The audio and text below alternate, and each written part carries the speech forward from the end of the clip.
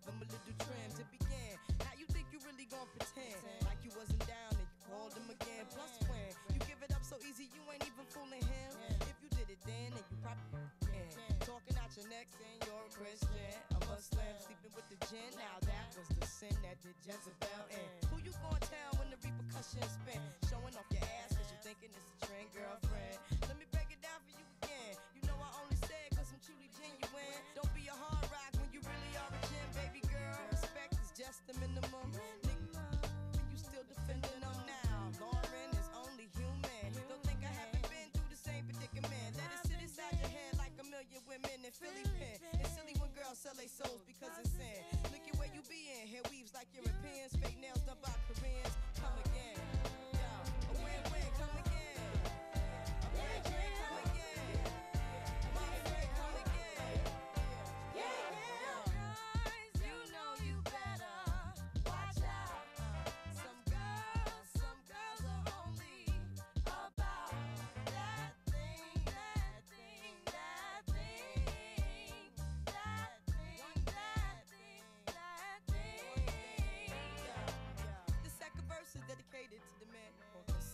Rims and his Timbs and his women. Him and his men. come in the club like hooligans. Don't care who they you fan, poppin' yang. you got Let's not pretend. The one that pack pissed out by the waistman, crissed out by the casement. Still the name of the basement. The pretty face man claiming that they did a bid, man.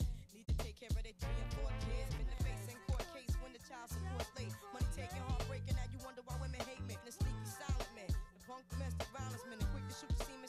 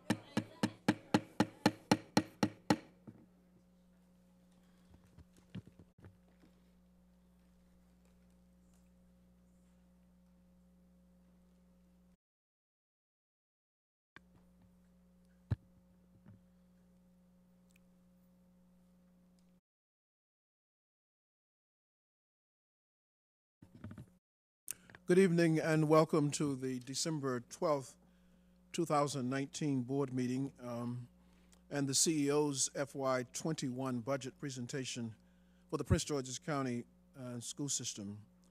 Before we begin our meeting, I would like to ask everyone to turn off your wireless communication devices as they may interfere with the microphone and the taping of our meeting.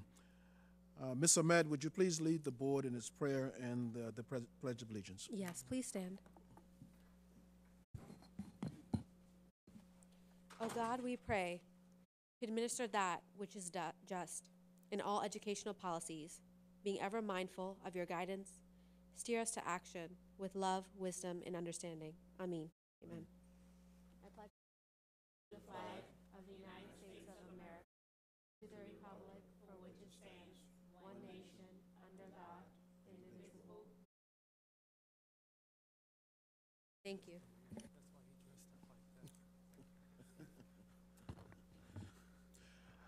Ms. Tate, um, would you please call the roll? Good evening, everyone. Good evening, Ms. Tate. Miss Ahmed, Here. Miss Boozer Strother. Here. Mr. Burroughs. Here. Mr. Monteiro. Mr. Murray. Here. Mr. Omalola. Here. Miss Queen. Present. Miss Shepherd. Here. Mr. Thomas. Mr. Valentine. Mr. Wallace. Miss Williams. And Dr. Thornton. Present. Colleagues, we will now um, turn our attention to the board's uh, agenda. Before we do adopt the agenda, agenda, I'd like to make a modification. I'd like to move item 8.1 before the school calendar. With that modification, a motion is in order, in order to adopt. So moved. Second. Proper moved and seconded that the agenda as modified be adopted. Those in favor, please say aye. Aye. Those opposing, no. The, the ayes have it. Please now turn your attention to the minutes of the board from its November 21st meeting. The motion is in order. So moved.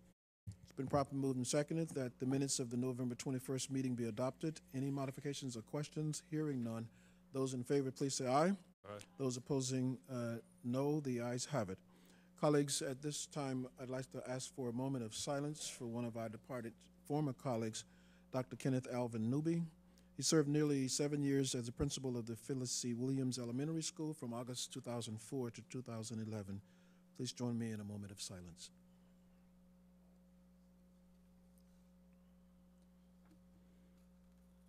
Thank you very much. Um, we have two registered public uh, comment speakers this evening. I'd ask them to adhere to the regulations that they saw as they signed up. I would like to ask Ms. Brenda Hammond to please come forward if she's here. Ms. Hammond, if you're here. Not seeing Ms. Hammond, I'd like to ask the president of our Teachers Association, PGCEA, Ms. Teresa Dudley, to please come forward.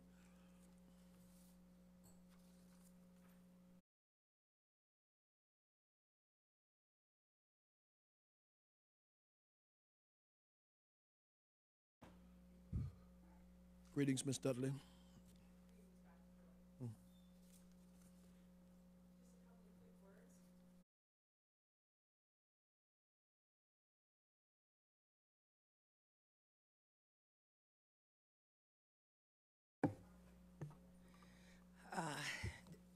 Mindfulness is something that we need to do and be mindful of ourselves and our beings and making sure that sometimes we're moving so fast, we don't sometimes take that breath and it helps clear us and so that we can continue on working.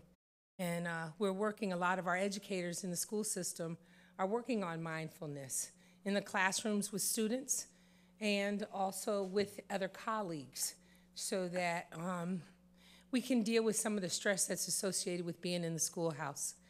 And I'd like for us to continue to have mindfulness as we move forward. Um, a couple quick things. I wanted to first wish everyone a joyous holiday season. Um, whatever faith you are, we have so many faiths in Prince George's County, our members, our students, that it's important that we identify all of our different cultures and act as if we don't have any cultural biasness. Unfortunately, we do. So we're hoping that that will be included in the new budget. In the um, meantime, I wanted to come before you today to formally request that we do what we did last year and acknowledge. You see my beautiful T-shirt? Black Lives Matter in Schools Week, which will be the first week of February. Um, Last year, we were fortunate enough to um, have, um, work in conjunction with the Minority Caucus of MSEA and have a brunch where we had our illustrious leader, Dr. Thornton, was our keynote. So we will be doing a week-long activities. We would like to have the support of the school system. Um, Children, our students create artwork, and we move, um, we move minds to think about how important Black Lives Matter are, Latino lives matter, all lives matter, and also how our educators' lives matters too, and how our educators are being treated in the classroom, not only by our um, students and our parents as well, and their administrators. So I want to thank you for this opportunity, and remember, you guys, all of the members of the um, Board of Education are invited to our legislative reception tomorrow, where we will presenting our positions on the upcoming legislative session for the county council, the uh, members of the General Assembly, because we have all got to work together on Kirwan and make sure that it's fully funded. Happy holidays. Thank you, um, Ms. Dudley, and thanks for the invitation. Colleagues, if we'll now turn our attention to uh, the consent agenda, the first item being the appointments of ethics panel members by state and law and Board of Education policy, we're required to have an ethics panel. Uh, Before you is uh, uh, five individuals, um, Sandra Fennell, Rhonda Evans, uh, Terlanda Jones, Gregory Morton, and Patricia Rozier. A motion is in order to approve them as members of the ethics panel. So moved. It's been properly moved and seconded that the recommended individuals be approved. Those in favor, please say aye. Second. That's, uh, I'll second I it. thought Ms. Ms. Ahmed, Ms. Ahmed second. Okay. Um, Those in favor, please say aye. Those opposing, no. Thank you. Uh, Consent agenda, I'll now yield the floor to Dr. Goldson for an introduction of item five-one under the budget consent agenda. Item five point one requires board approval of the fiscal year twenty twenty position authorization changes. Is there a second, or a motion and a second? Move approval. It's been properly moved and seconded that the superintendent's recommendation regarding authorization changes be approved. Those in favor, please say aye. Those opposing, no. Um, The ayes have it. Um, We'll now move to a consideration of item six, uh, one. That is the first reader for the 2020-21 school calendar. I'll yield to Dr. Goldson. Item six point one requires board approval as a first reader. Motion is in order. Second. It's been properly moved and seconded that the um, calendar proposal for 2020-21 calendar proposal process be approved. Any questions? Those in favor, please say aye. Those opposing, no. It's- It's unanimous, Ms. Ms. King.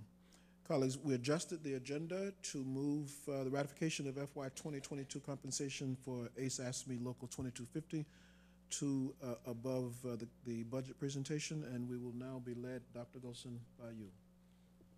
Item eight point one requires board approval and ratification of the fiscal year twenty twenty-one and fiscal year twenty twenty-two compensation improvements for employees represented by ACE AFSCME Local twenty-two fifty.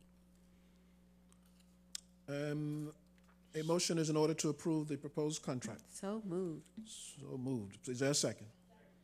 Um, Those in favor of approving the superintendent's recommended contract FY 2021 compensation for ACE AFSCME Local 2250, please say aye. Those opposing, no. The ayes have it, and we'd like to have a formal signing ceremony now.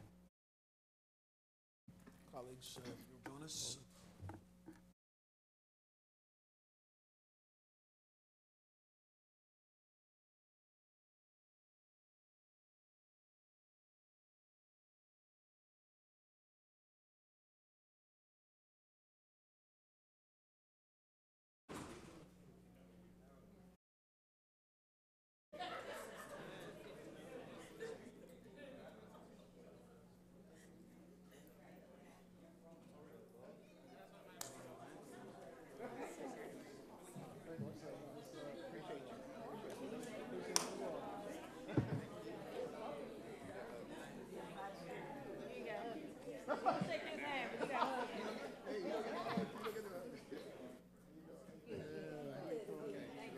Excuse me, sir, are you coming tomorrow? Oh, yeah, yeah, yeah, we'll talk, we'll talk. Yeah, we'll go ahead and sign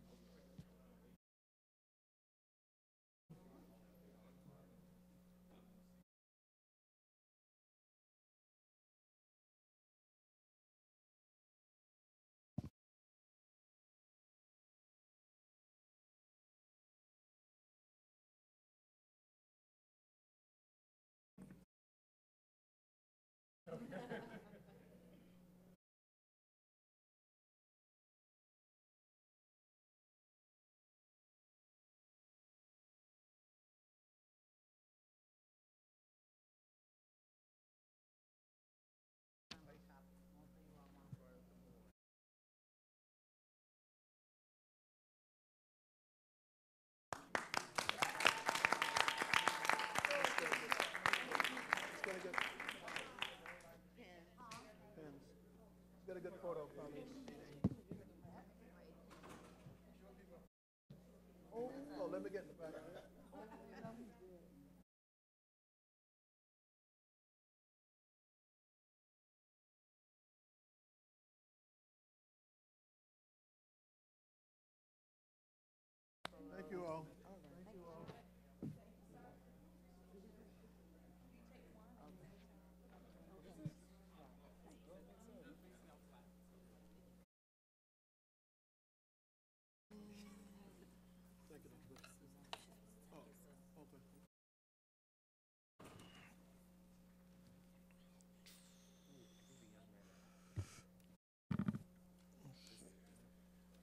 Okay. What's that? Okay, you, you, yeah, you're gonna, okay, okay, I could do that. Okay, okay, okay. Let's see, opposition. Dr. Goldson, we will now um, proceed with the presentation uh, of your, of your budget. Keep in mind, colleagues, that this is just a presentation. It is not designed for discussion. Uh, At this point, we will have, as you know, a series of um, public hearings throughout the county, three of them. We'll have a work session. And now I will turn the floor over to Dr. Goldson for your presentation. Thank you. Good evening, and thank you for providing me the opportunity to present my proposed operating budget for the 2020-2021 school year. As we come close to ending the first semester of the school year, we have a lot to be proud of. By working with our students to master basic concepts, we lay a strong foundation for the success of every child who walks through our doors. For over 8,000 middle school students, the classroom that they are learning in now will look a lot different in three years due to an ambitious construction project supported by our Board of Education, County Council, and County Executive. But there is still so much more work that must be done. We must work even harder to ensure our students' dreams are realized in facilities that promote and cultivate innovative teaching and learning. As you listen to tonight's presentation, imagine the work we will continue to do together as we build a world-class school system that meets the needs of our students, staff, and community. My focus for the past two years has been to continue to move Prince George's County Public Schools forward. We can always do better, and continuous improvement, making our best even better, is the mission and goal of all employees in Prince George's County Public Schools. Our relentless pursuit for outstanding achievement for all students must and will be reflected in our actions every day, in our schools, and in the workplace of our non-school-based staff. The core of our work focuses on our students, and without our students, Prince George's County Public Schools cannot exist. We continue to use the coherence framework to drive our work, fully understanding that the core of our work focuses on how we can better support what happens in the classroom. Our belief about the relationship between our actions and outcomes is what drives our theory of change, which states, if we focus on culture, data, and performance with the lens on literacy and numeracy, then we will have outstanding academic achievement for all students. By acknowledging and being transparent about the forces in the environment that impact our schools, such as structures, systems, resources, stakeholders, and culture, we're able to tackle the obstacles that hinder our ability to be efficient and strengthen our assets to meet the needs of our students. I am grateful this school year we saw our largest enrollment increase in over 15 years. We are a tapestry of diverse cultures, race, experiences, gifts, and talents. Every student is different, but our students and their parents all want the same thing a quality education that allows our students to compete nationally and to obtain careers that supports them, their future families, and fo- foster their dreams. I know that Prince George's County Public Schools is the place where that can happen. I, along with hundreds of thousands of graduates, are living proof that it's possible. With our continued efforts working together, we will continue to make investments that attract families to Prince George's County Public Schools and continues to meet the needs of our students. So what are our budget investments that'll support our students' academic and social emotional growth? They fall in five areas. But it's first, it starts with the visionary leadership from our Board of Education members. The role of the Board of Education is to adopt a unifying vision and mission, solicit and balance participation and input of community members, and advocating on behalf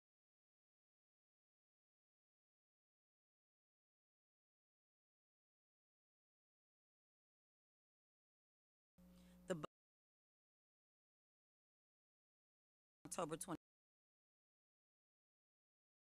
members on November 7th. Four of the five areas identified as budget priorities by the Board of Education are aligned to my 2020 proposed budget and can be found in the focus areas to follow. It is my goal to always ensure we have programs and supports in our five focus areas to ensure that the core of our work, which is our academic well-being of today's children affects the future vitality of our community. I propose that we make a $15.7 million investment in academic supports for our students. For years, we have underfunded our most vulnerable students. This is our opportunity to make investments that will improve the educational experiences of our special education students while meeting state and federal compliance requirements. Children who arrive at kindergarten prepared to learn perform better throughout school and complete more years of education. A more educated workforce, in turn, means higher incomes, more public revenues, and less poverty and crime. In other words, a thriving city that attracts business and jobs. In short, providing high quality early learning experiences, including pre kindergarten, helps families prepare their children to achieve and succeed. Investing in high quality, public funded, universal pre kindergarten is essential to building a prosperous Prince George's County. By creating and offering a pre K and kindergarten hub starting with approximately 280 students, will become the conduit for economic vibrancy. The expansion of our career and technical education program will allow us to bring junior achievements nationally recognized three-dimensional education program to our district, along with the J.P. Morgan Chase Information Technology Academy.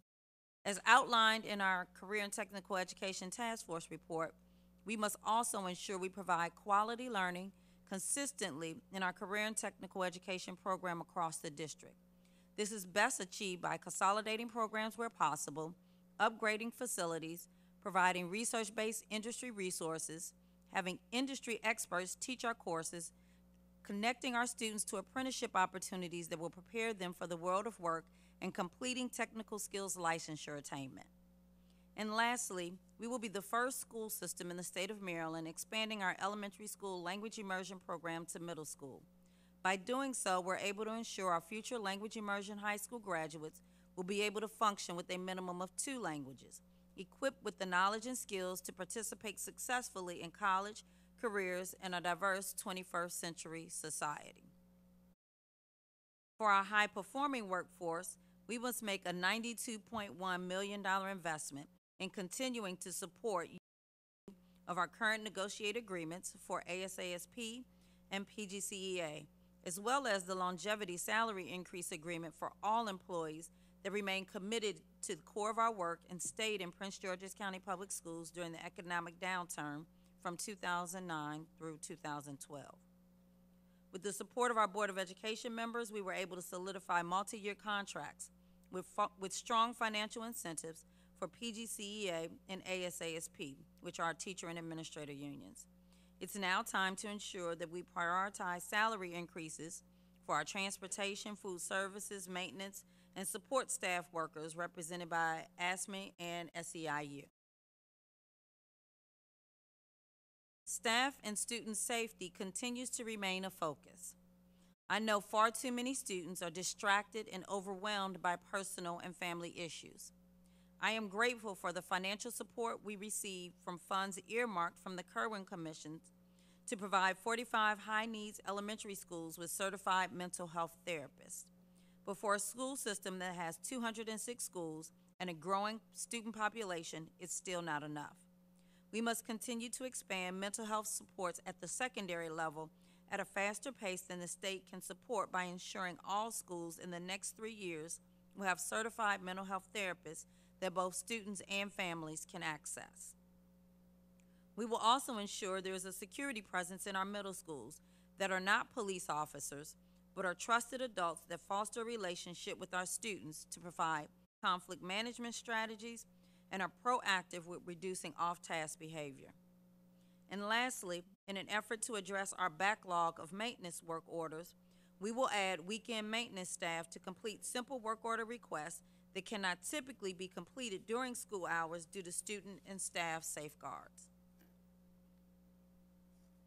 I am humbled and encouraged. Oops.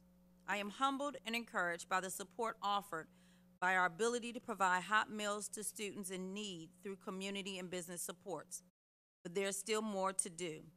There's still an overwhelming need to make sure that our most neediest families feel our support, which is why we proposed a new universal meals program for our 45 community schools, which includes breakfast, lunch, and supper for over 31,300 students.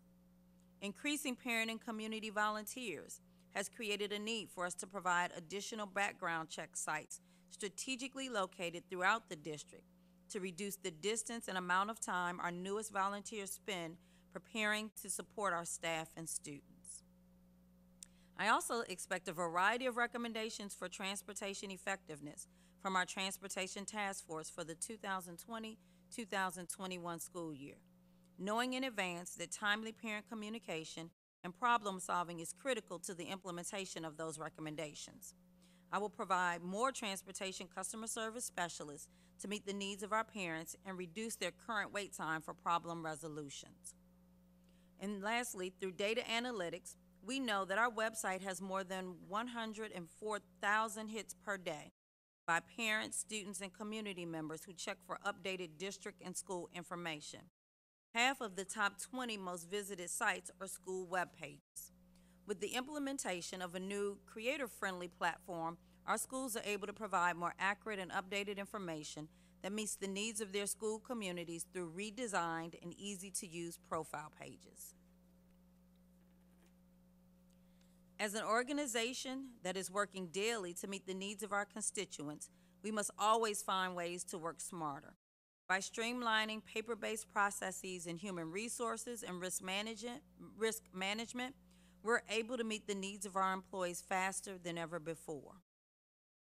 Historically, we have responded to audit findings with a change in human practice, but have not made an investment in our organization infrastructure to ensure that the audit finding is no longer repeated.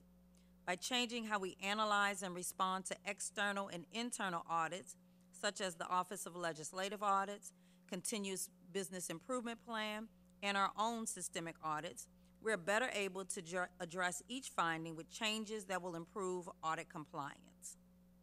And lastly, by offering systemic specialized professional development related to financial management for our bookkeepers, timekeepers, and administrators, we're better able to ensure there is a clear understanding and adherence to our administrative procedures and Board of Education policies.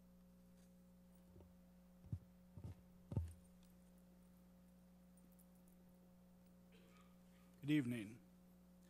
Uh, Here you'll see the FY 2020 approved budget overview. Um, On the revenue side, you'll see that the majority of our funding comes from the state at about 56%, and the next largest portion is our county revenue at 36%. On the expenditure side on the right, uh, you'll see the large blue portion here is our employee compensation. the salaries and benefits at over 82% of our budget. So when we talk about our budget, we are almost exclusively talking about the people. Um, over the next few slides, uh, we'll walk through all of the changes from this current year budget to what the CEO is proposing for her FY 2021 proposal. Uh, beginning with the expenditure requests.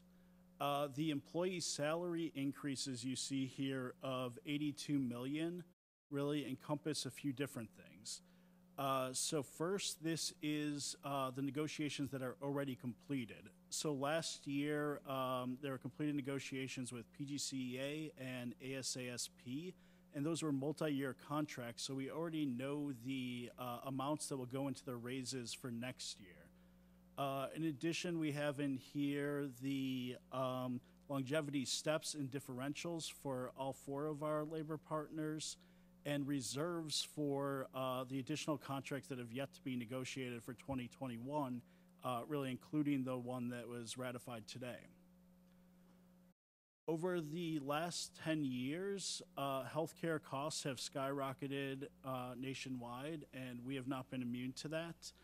Um, but we have not raised our rates to uh, keep in line with those uh, additional costs. So this nine million here is um, our portion for this year, the PGCPS employer portion to pay for the uh, 75 to 80 percent of uh, healthcare benefits that we pay for all of our employees and their families. The following three lines, you'll see uh, about $21 million total. And this is to uh, account for all of the new enrollment for the staff and resources that we'll need at the uh, school level. For charter schools, this 13 million includes both the new charter school that will come online in 2021 and the increased enrollment at the uh, other public charter schools. Uh, finally, on this slide, our lease purchase uh, amounts. Um, this is the method that we use to purchase all of our textbooks, our buses, non-bus vehicles, and computers. Uh, our interest rates that we're borrowing at have actually got better uh, this year, but we're still seeing a year-over-year increase from 20 to 21. Uh, this is because during the uh, final reconciliation for the FY20 budget, uh, we chose to help close that budget by prepaying one of our lease purchase payments. Uh, so this is really the back end of that one coming back for 21. Uh, altogether, those items lead us to an initial budget gap of about $131 million.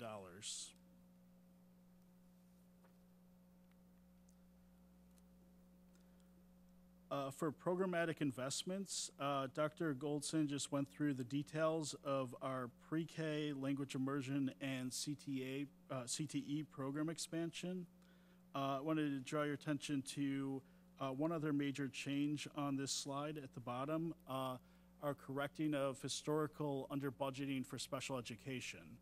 Uh, so each of the last few years, we have under budgeted the amount that we need to fully fund special education. Uh, this doesn't mean that the students have not received the services from their IEPs, but uh, what it's led to is at the end of the year, we have, uh, through financial review, had to move money to this category.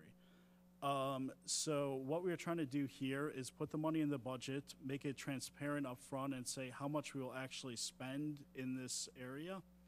Uh, and this will also help the special education department because it removes the uncertainty around receiving these funds and allows them to plan with their full resources from the beginning of the year.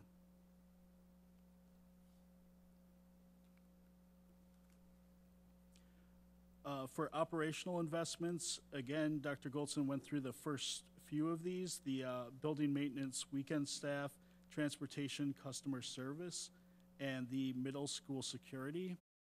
Uh, one other area that she began to address was we have uh, gone through a number of operational audits over the last couple years, including OLA, continuous business improvement, and uh, various um, internal audits. Um, they have all said many of the same things. We know at this point from all these audits what the operational areas that we need to address are, and we've written corrective action plans to address those areas. What's left to do through the budget is in certain places actually designate resources to those areas. So a good example of this is our school activity funds. Right now, we have one employee in our accounting office that is looking at all of our school activity funds at over 200 schools.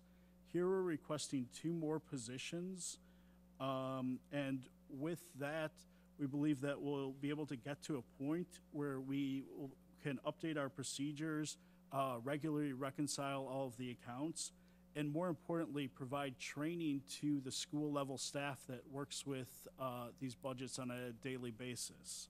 Uh, with that, we'll increase our compliance and reduce our audit findings. And on the back end of this, when we still do have audit findings, schools need support in actually addressing these issues so they don't become repeated issues. Uh, also on this slide, you'll see um, what Dr. Goldson addressed earlier uh, for addressing food insecurity. Uh, this additional nine million, along with the uh, increases on the last two slide, uh, take our total budget deficit to just over 150 million dollars. A little over half of that we believe will be mitigated by our projected revenue growth. Um, so what you'll see in this chart is if there are no formula or legislative changes, the amount of uh, money additionally that we uh, believe that we will receive um, just from our primarily increased enrollment. So that state revenue of $46 million is directly tied to um, the, our new enrollment going through those formulas, and the state revenue does lag a year behind, so it is the current year enrollment. Uh, for the board sources, uh, we've been able to invest um, over the last uh, two years and have uh, received better returns.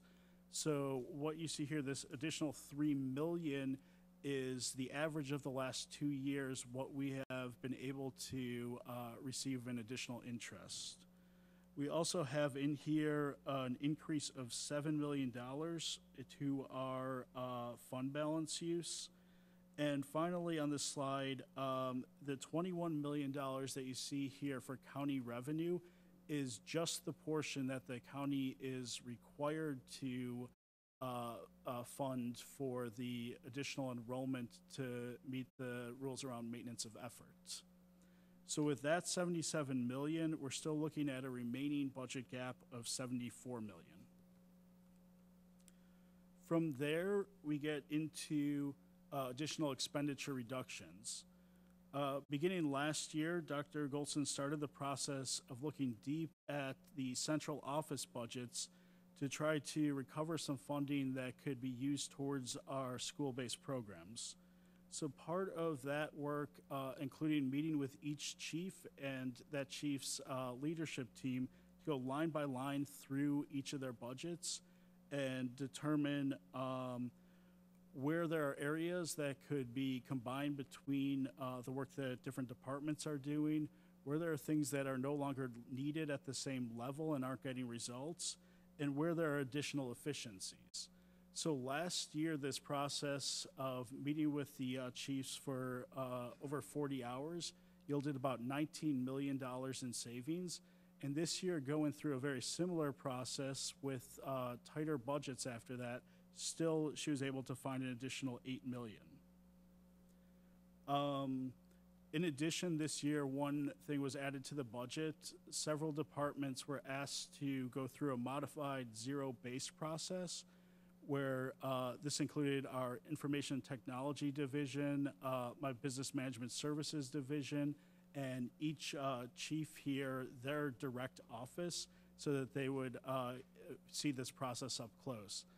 Um, so through that process, uh, for all discretionary dollars, the chief started with a zero dollar budget and had to justify every purchase from uh, supplies to um, registration and travel for uh, conferences.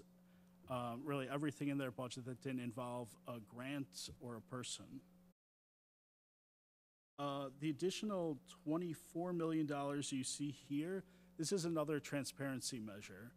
We're trying to get to the point where we are fully expending our budget each year, and we're getting very close to that.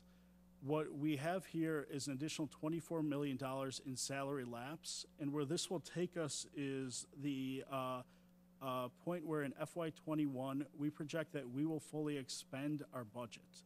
The other importance of this $24 million negative number is that when we put this in the budget, it allows us to put other investments in, including these operational and programmatic investments, as well as uh, employee compensation, and still match our expenditures to our revenues. So this $32 million in additional reductions take us to the final financial slide. And this is Dr. Goldson's proposed budget for 2021. Uh, you'll see the small sliver coming out of the chart. Uh, the on the left is the additional county request above the maintenance of effort amount, and that represents 42.3 million dollars. As we go through this budget process, there are some additional considerations we should all pay close attention to. The Kirwan Commission and the subcommittee that created the funding formula have submitted their proposal to the delegates and senators on how to fund the recommendations outlined in the Kirwan Commission report. This legislative session will change how we fund public education locally and at the state level for many years to come. If there is ever any time to remain engaged and in tune with local and state funding for education, it is now. As constituents, each of us are responsible for making sure our voices are heard in support of educational funding. The second revenue consideration that we may need to address are the recommendations presented to me by the Tran- Transportation Task Force in the spring. Those recommendations will be used to ensure that we have on-time arrival and departure of buses for next school year. As you can see, the budget cycle never ends. From July through December, it provides us an opportunity to hear from our staff and community members about their priorities. Whether it was through our over 30 hours of line-by-line department analysis and zero-based budgeting for all chiefs, business management, and information technology, or through our community listening sessions, understanding the needs of our students helped to create the priorities you saw here today. From January through February, we began to dig deeper into the budget request, answer Board of Education questions, and provide three more opportunities for parents and community members to share their priorities.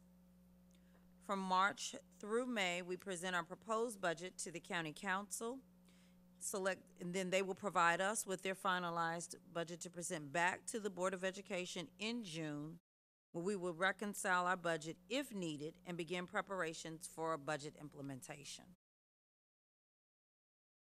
Today is the beginning of the public fiscal year 2021 budget process. I believe the request for additional funding in the areas of employee compensation, programmatic and operational investments demonstrates to our staff, students, and community that their voices count and our focus remains on children. I look forward to working with the Board of Education members and community members to finalize a request to submit to the County Council in March that will allow us to continue to build on our Prince George's County Public School pride. All families have the same dream for their child, a quality education that nurtures their talents and propels their dreams. By supporting students in and outside of the classroom, we will prepare the next generation for the world beyond our schoolhouse doors. Thank you.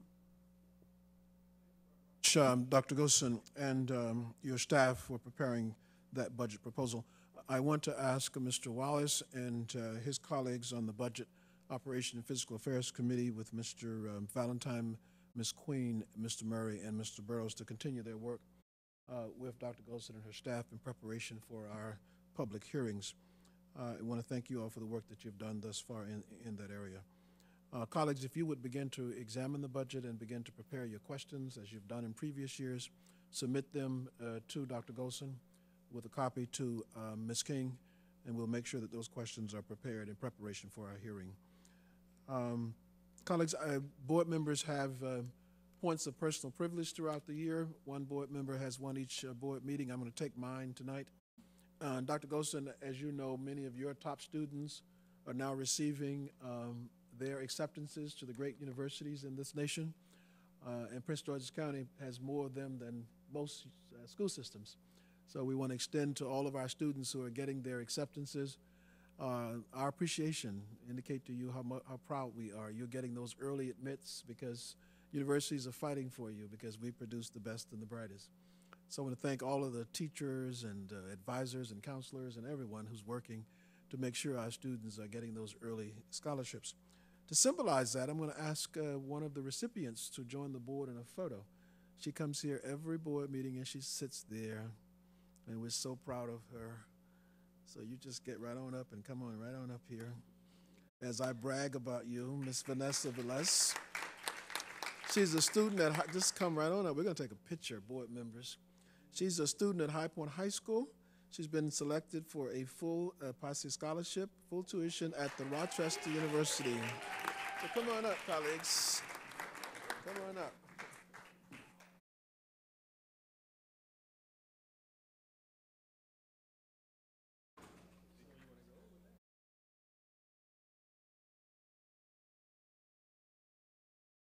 To take this picture?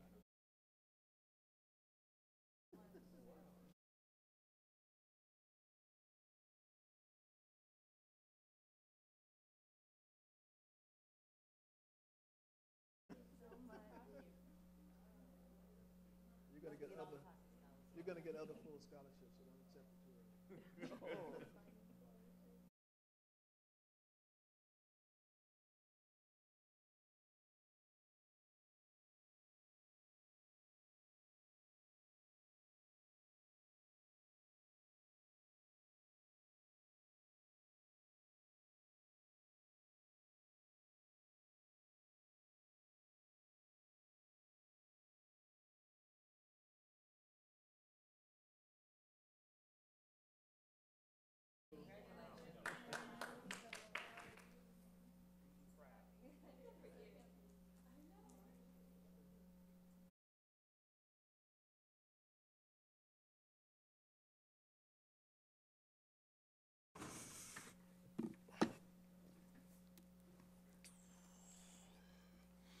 Colleagues, uh, at this point, I'll have a motion to approve action taken in executive session uh, regarding labor negotiations, student appeals, personnel appointments, discussions, CEO report, report from the Board Executive Director, Administrative Matters, and Internal Audit Report. A motion is in order. So moved. It's properly moved and seconded that the items taken in executive session be approved. Those in favor, please say aye.